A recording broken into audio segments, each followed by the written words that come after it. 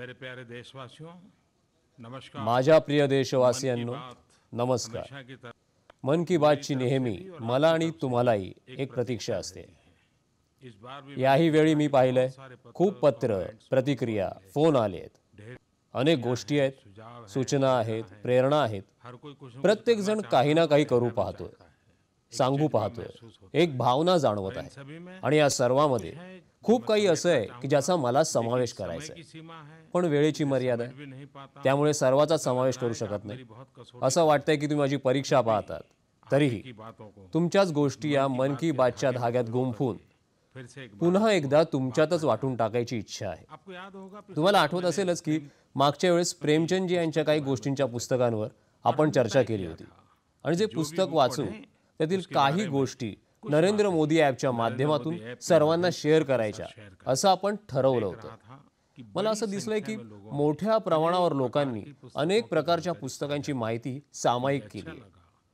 लोक विज्ञान तंत्रज्ञान नाविन्यपूर्ण संशोधन इतिहास संस्कृती व्यवसाय जीवनचरित्र अशा अनेक विषयांवर लिहिल्या गेलेल्या पुस्तकांवर चर्चा करत आहेत. यामुळे मला छान वाटलं. काही लोकांनी तर मला असा सल्ला दिलाय की मी आणखीन काही पुस्तकांबद्दल बोलावं. ठीक आहे? मी आणखीन काही पुस्तकांबद्दल आपल्याशी नक्की चर्चा करेन. पण मला एक गोष्ट मान्य केली पाहिजे की मी खूप मोठ्या प्रमाणावर पुस्तक वाचण्यासाठी वेळ देऊ शकत नाही. पण एक फायदा मात्र असा झाला आहे की तुम्ही जे काही लिहून पाठवता त्यावरून अनेक पुस्तकांच्या विषयांबद्दल माहिती जाणून घेण्याची संधी मला मिळते. परंतु हा जो मागील एक महिन्याचा अनुभव आहे त्यावरून मला असं वाटतं की या उपक्रमाला आपण पुढे घेऊन जायला हवं. आपण नरेंद्र मोदी ॲपवर पुस्तकांचा एक कोपरा कायमस्वरूपी का बनवू नये? आणि जेव्हा आपण एखादं नवीन पुस्तक वाचू त्याबद्दल तिथे लिहू चर्चा करू आणि तुम्ही या पुस्तकांच्या कोपऱ्यासाठी एखादं चांगलं नावही सुचवू शकता? हा पुस्तकांचा कोपरा बुक कॉर्नर वाचक आणि लेखकांसाठी एक सक्रिय मंच बनेल अशी माझी इच्छा आहे. तुम्ही लिहित राहा वाचत राहा आणि मन की बातच्या सर्व सहकाऱ्यांकरता ती शेअरही करत राहा. मित्रांनो असं वाटतं की जल संरक्षण. मन की बातमध्ये जेव्हा मी या विषयाला स्पर्श केला होता पण आज असा अनुभव येतोय की माझ्या म्हणण्याच्या आधीच जल संरक्षण तुमच्या मनाला स्पर्शून जाणारा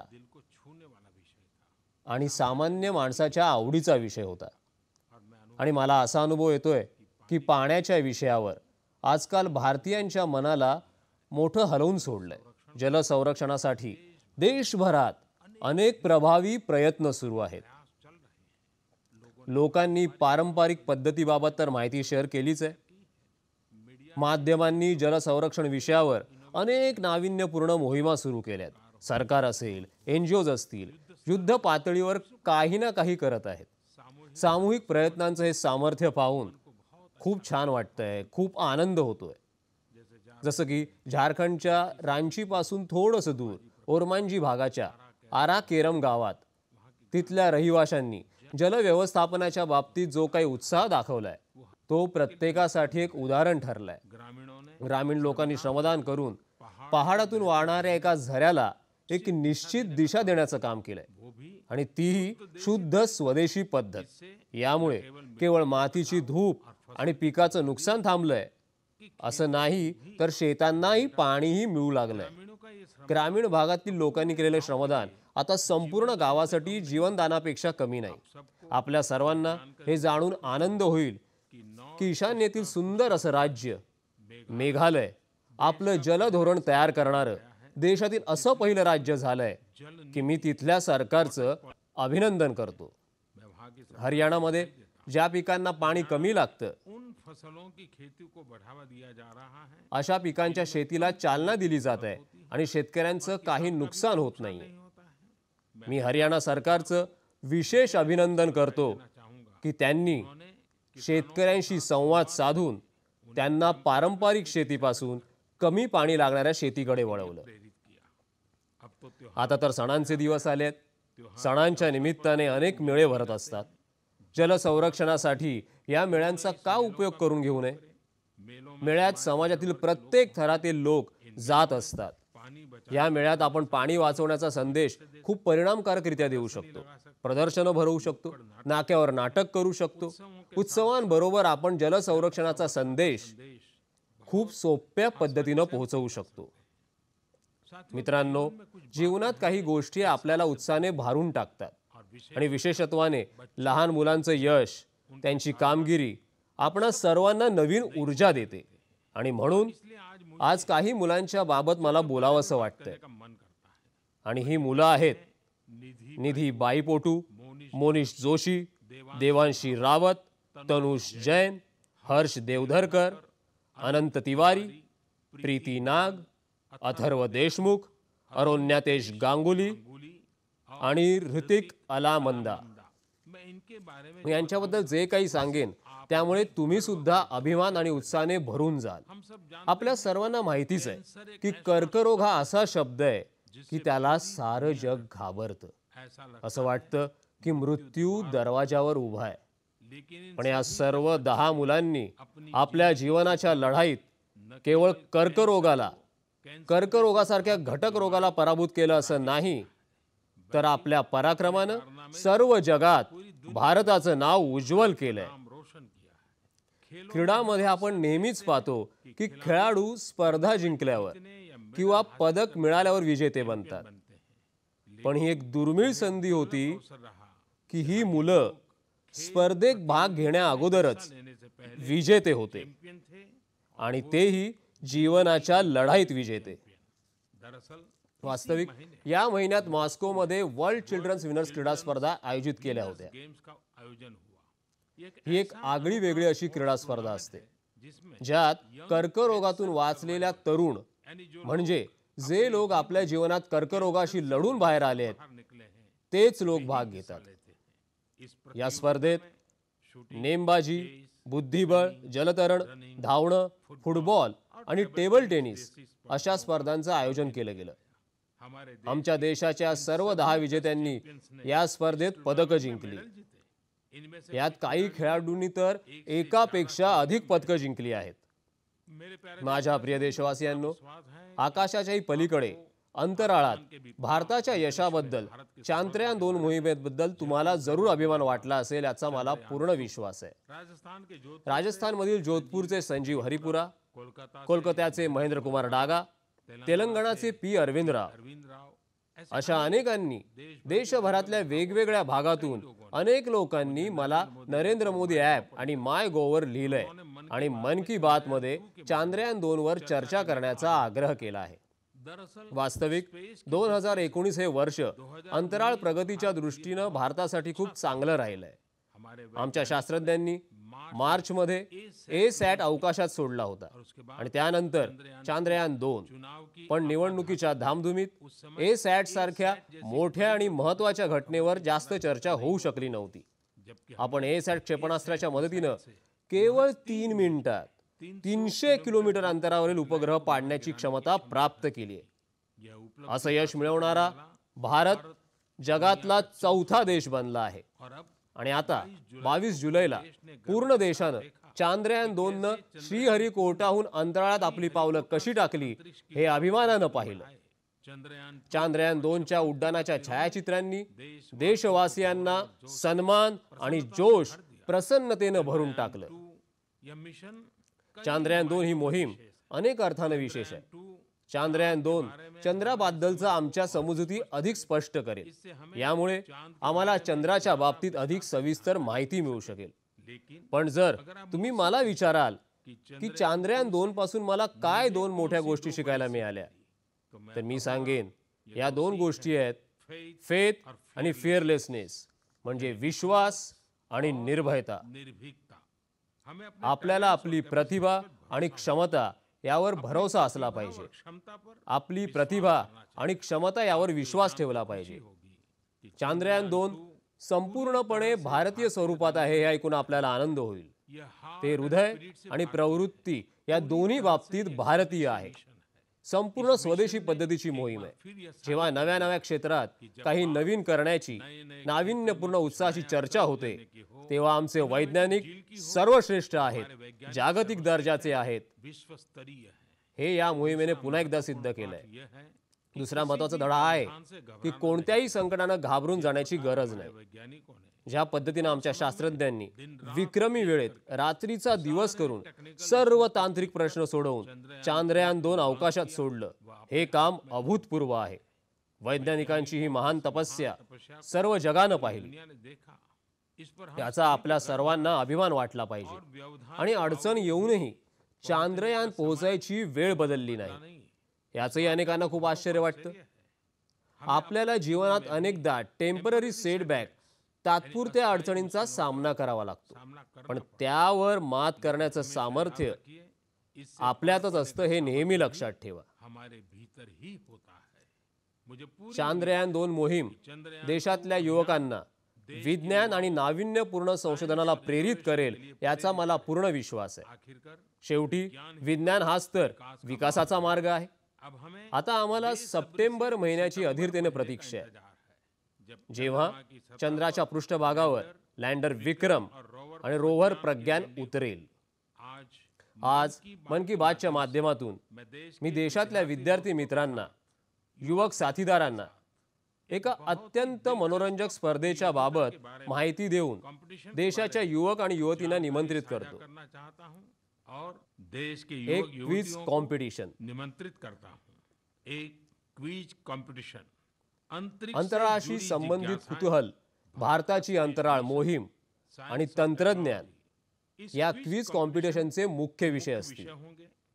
जैसे की रॉकेट अवकाशात सोडण्यासाठी काय काय करावं लागतं? उपग्रहाला कक्षेत कसं प्रस्थापित करता येतं? आणि उपग्रहापासून आपण काय काय माहिती प्राप्त करतो ए सेट काय असतो? खूप गोष्टी आहेत. माय माय गोव संकेतस्थळावर एक ऑगस्टला स्पर्धेचा तपशील दिला जाईल. मैं युवा मी युवक मित्र विद्यार्थी यांना त्यांनी या क्विज कॉम्पिटिशनमध्ये भाग घ्यावा आणि आपल्या सहभागानं स्पर्धेला अधिक मनोरंजक आणि अविस्मरणीय करावी असं आवाहन करतो. मी शाळा पालक उत्साहित मुख्याध्यापक आणि शिक्षकांना विशेष आग्रह करतो कि त्यांनी आपल्या शाळेला विजयी करण्यासाठी भरपूर मेहनत घ्यावी. सर्वात रोमांचक गोष्ट तर ही आहे की प्रत्येक राज्यातनं सर्वाधिक गुण मिळवणाऱ्या विद्यार्थ्यांना भारत सरकार स्वतःच्या खर्चानं श्रीहरिकोटाला घेऊन जाईल.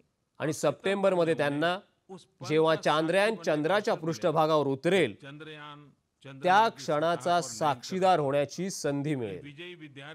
या विद्यार्थी विजय विद्यार्थ्यांसाठी ही एक ऐतिहासिक घटना असेल. पण त्यासाठी तुम्हाला क्विज कॉम्पिटिशनमध्ये भाग घ्यावा लागेल. सर्वाधिक गुण मिळवावे लागतील. आपल्याला विजयी व्हावं लागेल. मित्रांनो माझी ही सूचना तुम्हाला निश्चितच चांगली वाटली असणार मजेदार संधी आहे ना? तर तुम्ही क्विजमध्ये भाग घ्यायला विसरू नका. आणि जास्तीत जास्त मित्रांना भाग घ्यायला प्रेरित करा.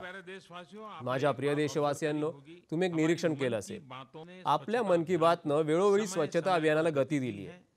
आणि या पद्धतीनं स्वच्छतेसाठी केल्या जाणाऱ्या प्रयत्नांनीही मन की बातला नेहमीच प्रेरणा दिली आहे पाँच वर्षांपूर्वी सुरू झालेला प्रवास आज अनेकांच्या सहभागातून स्वच्छतेचे नवनवीन मानदंड प्रस्थापित करतोय. ऐसा नहीं आम्ही स्वच्छतेच्या बाबतीत आदर्श स्थिती प्राप्त केली आहे. असं मुळीच नाही. पण ज्या पद्धतीनं हागणदारी मुक्त गावांपासून ते सार्वजनिक स्थळांपर्यंत स्वच्छतेच्या बाबतीत जे यश मिळालंय ते एकशे तीस कोटी देशवासियांच्या संकल्पाची शक्ती आहे. पण आम्ही इथपर्यंत येऊन थांबणार नाही. हे अभियान आता स्वच्छतेकडून सौंदर्याकडे पुढे वाटचाल करत निघालंय. आता काही दिवसांपूर्वीच मी मीडियामध्ये श्रीयुत योगेश सैनी आणि त्यांच्या टीमची कहाणी पाहत होतो. योगेश सैनी अभियंते आहेत आणि अमेरिकेतली आपली नोकरी सोडून भारत मातेची सेवा करण्यासाठी भारतात परत आले. त्यांनी काही काळ अगोदर दिल्लीला स्वच्छच नाही तर सुंदरही बनवण्याचा विडा उचलला.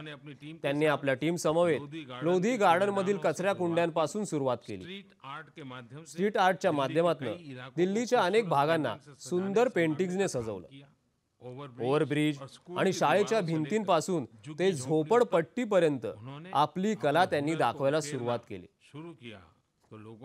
तेव्हा लोकांची साथ मिळत गेली आणि एक प्रकारे हा सिलसिला सुरू झाला. हो तुम्हाला आठवत असेल की कुंभमेळ्याच्या काळात प्रयागराजला रस्त्यावरील पेंटिंग्सनी कसं सजवण्यात आलं होतं.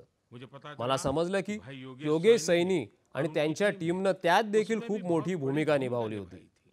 रंग आणि रेषांचा भलेही आवाज येत नसे पण त्यांच्यापासून बनलेल्या चित्रांनी जे इंद्रधनुष्य तयार होतं त्यांचा संदेश हजार शब्दांपेक्षा कितीतरी अधिक जास्त प्रभावी सिद्ध होतो. आणि स्वच्छता अभियानाच्या सौंदर्यातही आपण त्याचा अनुभव घेत असतो. कचऱ्यापासून संपत्ती बनवण्याची संस्कृती आमच्या समाजात विकसित व्हावी हे आमच्यासाठी फार आवश्यक आहे. एका तऱ्हेने सांगायचं तर कचऱ्यापासून सोनं बनवण्याच्या दिशेनं आम्हाला पुढे जायचं माझ्या प्रिय देशवासियांनो काही दिवसांपूर्वी मी माय गोवर एक खूपच मनोरंजक प्रतिक्रिया वाचली. जम्मू काश्मीरच्या शोपिया इथं राहणाऱ्या भाई मोहम्मद असलम यांची ती प्रतिक्रिया होती. त्यांनी मन लिहिलंय की बात मन की बात कार्यक्रम ऐकायला चांगला वाटतो. मला हे सांगायला आनंद हो वाटतो की माझ्या राज्यात जम्मू काश्मीरमध्ये कम्युनिटी मोबिलायझेशन कार्यक्रमाच्या बॅक टू विलेज आयोजनात सक्रिय भूमिका बजावली. जून महिन्यात या कार्यक्रमाचं आयोजन केलं होतं. असे कार्यक्रम दर तीन महिन्यांनी आयोजित केले गेले पाहिजेत असं मला वाटतं. आयोजित जाने चाहिए. त्याचबरोबर कार्यक्रमाच्या ऑनलाईन देखरेखीची व्यवस्था असली पाहिजे. माझ्या मते हा अशा प्रकारचा पहिलाच कार्यक्रम होता ज्यात जनतेने सरकारशी थेट संवाद साधला. भाई मोहम्मद असलमजी यांनी हा संदेश मला पाठवला. आणि तो वाचल्यावर बॅक टू विलेज कार्यक्रमाबाबत जाणून घेण्याची माझी उत्सुकता। वाढली. आणि जेव्हा मी याबाबत सविस्तर माहिती घेतली तेव्हा पूर्ण पूरे देशाला याची माहिती असली पाहिजे असं मला वाटलं. काश्मीरचे लोक विकास विकासाच्या मुख्य प्रवाहाशी जुड़े जोडले जाण्यासाठी किती उत्सुक आहेत किती उत्साही आहेत याची कल्पना या कार्यक्रमाने येते. या कार्यक्रमात प्रथमच मोठ मोठे अधिकारी थेट गावापर्यंत पोहोचले. ज्या अधिकाऱ्यांना गावकऱ्यांनी कधीही पाहिलं नव्हतं. ते स्वतः त्यांच्या दारात गेले. ज्यामुळे विकास कामांमध्ये येत असलेल्या अडचणी समजून घेता येतील समस्या दूर केल्या जाऊ शकतील. हा कार्यक्रम। आठवडाभर चालला आणि राज्यातल्या सर्व सुमारे साडेचार हजार पंचायतींमध्ये सरकारी अधिकाऱ्यांना ग्रामस्थांना सरकारी योजना आणि कार्यक्रमांची सविस्तर माहिती दिली. त्यांच्यापर्यंत सरकारी सेवा पोहोचतात की नाही हेही? जाणून घेतलं. पंचायतींना कसं आणखीन मजबूत बनवता येईल? त्यांचं उत्पन्न कसं वाढवता येईल? त्यांच्या सेवा सामान्य मानवी जीवनात काय प्रभाव टाकू शकतील? ग्रामस्थांनीही मोकळेपणानं आपल्या समस्या मांडल्या. खुलकर अपनी समस्याओं को बताया। साक्षरता, लिंगभेद गुणोत्तर आरोग्य स्वच्छता जलसंरक्षण वीज पाणी मुलींचं शिक्षण ज्येष्ठ नागरिकांचे प्रश्न अशा अनेक विषयांवर चर्चा झाली. मित्रांनो हा कार्यक्रम काही सरकारी उपचाराचा नव्हता की अधिकारी दिवसभर गावामध्ये फिरून परत आले. पण बार या वेळेला अधिकाऱ्यांनी दोन दिवस आणि एक रात्र पंचायत समितीतच काढली. यात त्यांना गावात राहण्याची संधी मिळाली. प्रत्येकानं भेटण्याचा प्रयत्न केला. प्रत्येक विभागापर्यंत पोहोचण्याचा प्रयत्न केला. हा कार्यक्रम रंजक करण्यासाठी आणखीन काही गोष्टींचाही समावेश केला होता. खेलो इंडिया अंतर्गत मुलांसाठी क्रीडा स्पर्धा ठेवली होती. खेळांचं साहित्य मनरेगाची जॉब कार्ड आणि अनुसूचित जाती आणि जमातीच्या प्रमाणपत्रांचंही तिथंच वाटप केलं गेलं. आर्थिक साक्षरता कॅम्प लावले. कृषी फलोत्पादन अशा सरकारी विभागांकडून स्टॉल्स लावून सरकारी योजनांची माहिती दिली गेली. एक प्रकारे हे आयोजन म्हणजे विकासोत्सव झाला आहे. लोकसहभागाचा जनजागृतीचा जागृती उत्सव बनला. काश्मीरचे लोक विकासाच्या या उत्सवात मोकळेपणी सहभागी। झाले. आनंदाची गोष्ट ही आहे की बॅक टू विलेज कार्यक्रमाचं आयोजन अशा दूरवरील भागांमध्ये केलं होतं की जिथं पोहोचण्यासाठी सरकारी अधिकाऱ्यांना दुर्गम रस्त्याने जाऊन पहाड चढून कधी कधी एक दिवस तर कधी कधी दीड दिवस पायपीट करावी लागली. हे अधिकारी सीमावर्ती पंचायतींमध्येही गेले. ज्या नेहमी सीमेपलीकडून गोळीबाराच्या सावटाखाली असतात. इतकंच नाही. शोपियां, तो शोपिया पुलवामा कुलगाम आणि अनंतनाग जिल्ह्यातील अति अति संवेदनशील प्रदेशातही अधिकारी निर्भयपणे गेले. काही अधिकारी तर गावात झालेल्या स्वागताने इतके भारावून गेले की दोन दिवसांपेक्षा अधिक काळ गावात थांबले. अधिक समय तक गांवों में रुके रहे. या प्रदेशांमध्ये ग्रामसभा होणं त्यात मोठ्या संख्येनं लोकांनी भाग घेणं आणि आपल्यासाठी योजना तयार करणं हे सारच खूप सुखद आहे. नवीन संकल्प नवा जोश आणि शानदार निकाल असे कार्यक्रम आणि त्यात लोकांचा सहभाग. काश्मीरच्या आमच्या बंधू भगिनींना सुशासन हवं आहे हेच दर्शवतो. विकासाची हो शक्ती बॉम्ब आणि बंदुकीच्या शक्तीवर नेहमीच भारी ठरते. हे यावरून सिद्ध होतं. है लोक विकासाच्या मार्गात द्वेष निर्माण करू पाहत आहेत. अडसर पैदा करू पाहत आहेत. ते आपल्या कुटील हेतूंमध्ये कधीच यशस्वी होऊ शकत नाहीत. हेही स्पष्ट हो माझ्या प्रिय देशवासियांनो ज्ञानपीठ पुरस्कारानं सन्मानित श्रीमान दत्तात्रय रामचंद्र बेंद्रे. यांनी आपल्या एका कवितेत श्रावण महिन्याचा महिमा असा सादर केला आहे. प्रस्तुत या कवितेत त्यांनी म्हटलंय कविता में उन्होंने कहा है होड़ी गे होडी गे मडी गे आगेद लग्ना। अदरा अद्राग भूमी मग्ना। अर्थात पावसाचा शिडकावा आणि पाण्याच्या धारा यांचे बंध आगळेच आहेत आणि त्याचं सौंदर्य पाहून पृथ्वी मग्न आहे. पूरे भारत संपूर्ण भारतवर्षात अलग अलग संस्कृती आणि भाषक लोक श्रावण महिना आपापल्या पद्धतीनं साजरा करतायत. या मोसमात आपण जेव्हा जेव्हा आसपास पाहतो तर असं वाटतं की जणू पृथ्वीनं हिरवळीचा शालू पांघरलाय चारों सर्वत्र एका नव्या ऊर्जेचा संचार होतो या पवित्र महीने महिन्यात अनेक भक्त कांवड़ यात्रा आणि अमरनाथ यात्रेला जातात. तर काही जण नियमितपणे उपास करतात. आणि जन्माष्टमी आणि नागपंचमी सारख्या सणांची उत्सुकतेनं प्रतीक्षा करतात. याच काळात भाऊ बहिणीच्या प्रेमाचं प्रतीक असलेला राखी पौर्णिमा सणही येतो. श्रावण महिन्याची चर्चा सुरू आहे. तर आपल्याला हे ऐकून आनंद होईल. कि यावेळी अमरनाथ यात्रेत गेल्या चार वर्षांपेक्षा सर्वात जास्त भाविक सहभागी झालेत. एक जुलै पासून आतापर्यंत तीन लाखाहून अधिक तीर्थयात्रींनी पवित्र अमरनाथ गुहेचं दर्शन घेतलं. 2015 में दोन हजार पंधरा मध्ये पूर्ण साठ दिवसपर्यंत चालणाऱ्या यात्रेत जितके भाविक सहभागी झाले होते त्यापेक्षा जास्त भाविक यावेळी फक्त अठ्ठावीस दिवसात सहभागी झाले. अमरनाथ यात्रेच्या यशाबद्दल मी खास करून जम्मू काश्मीरचे लोक आणि त्यांच्या आतिथ्यशीलतेचीही प्रशंसा करतो. जे लोक यात्रेहून परत येतात ते राज्याच्या जनतेची प्रेमाची ऊब आणि आपलेपणाच्या भावनेनं भारावून जातात. या सर्व गोष्टी भविष्यात पर्यटनासाठी खूप लाभदायक सिद्ध होणार. उत्तराखंडमध्येही या वर्षी जेव्हापासून चारधाम यात्रा सुरू झाली आहे. तेव्हापासून दीड महिन्यात आठ लाखांहून अधिक भाविकांनी केदार धामचं दर्शन घेतलं. असंही मला सांगण्यात आलंय. 2013 में आई भीषण दोन हजार तेरा मध्ये आलेल्या भीषण आपत्तीनंतर प्रथमच इतक्या विक्रमी संख्येनं तीर्थयात्री तिथे पोहोचले से माझं आपल्या सर्वांना आवाहन आहे की ज्या भागांमध्ये मान्सूनच्या दरम्यान नैसर्गिक सौंदर्य पाहण्यासारखं असतं अशा भागांमध्ये तुम्ही जरूर जा. आपल्या देशाचं सौंदर्य पाहण्यासाठी आणि आपल्या देशातल्या लोकांची भावना समजून घेण्यासाठी पर्यटन आणि तीर्थयात्रा यापेक्षा मोठा शिक्षक नाही. श्रावणाचा सुंदर आणि रसरशीत महिना आपल्या सर्वांमध्ये नवीन ऊर्जा नवीन आशा आणि नव्या उमेदीचा संचार घडवो अशी मी आपल्या सर्वांसाठी शुभकामना करतो. याच प्रकारे ऑगस्ट महिना भारत छोडो आंदोलनाची स्मृती घेऊन येतो. पंधरा ऑगस्टसाठी आपण काही विशेष तयारी करावी अशी माझी इच्छा आहे. स्वातंत्र्याचं हे पर्व साजरं करायची नवीन पद्धत शोधावी. लोकसहभाग वाढला पाहिजे. पंधरा ऑगस्ट लोकांचा जनांचा उत्सव कसा होईल याची काळजी निश्चित घ्या.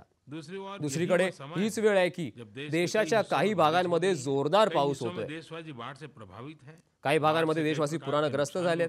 पुरामुळे अनेक प्रकारचं नुकसान सहन करावं लागतं. पुराच्या संकटात सापडलेल्या सर्व लोकांना मी आश्वासन देतो की केंद्र राज्य सरकारांच्या सहकार्यानं पूरग्रस्तांना हर प्रकारची मदत उपलब्ध करून देण्यासाठी अतिशय जलद गतीनं काम करते आम्ही जेव्हा टीव्ही पाहतो तेव्हा पावसाचा एकच पैलू दिसतो.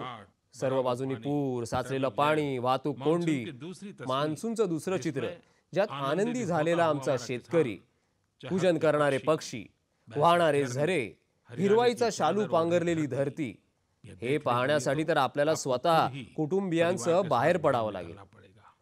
पाऊस ताजेपणा आणि आनंद म्हणजे फ्रेशनेस आणि हॅपीनेस दोन्ही आपल्या समवेत आणतो. हा मान्सून आपल्या सर्वांना सतत आनंदानं भारून टाको ही माझी इच्छा आहे. लगातार खुशियों से भरता रहे आप सभी स्वस्थ रहे। मेरे प्यारे माझ्या प्रिय देशवासियों देशवासियांनो मन की मन बात की बात कुठं सुरू करायची कुठं थांबायचं खूप अवघड काम मुश्किल काम लगता है। पण वेळेची मर्यादा समय की सीमा होती है। एक महिन्याच्या प्रतीक्षेनंतर पुन्हा आऊंगा पुन्हा भेटेन. महिन्याभरात तुम्ही मला खूप काही सांगा. बातें बताना मी येणाऱ्या मन की बात मध्ये त्यांचा समावेश करायचा प्रयत्न करेन. जोड़ने का प्रयास करूंगा. आणि माझ्या युवा मित्रांना पुन्हा आठवण करून देईन की क्विज कॉम्पिटिशनमध्ये संधी सोडू नका. मत छोड़िए। श्री हरिकोटामध्ये जी संधी मिळणार आहे ती कोणत्याही परिस्थितीत हातची जाऊ देऊ नका. किसी भी हालत में जाने मत देना। आपल्या सर्वांना. खूप खूप धन्यवाद. नमस्कार. नमस्कार.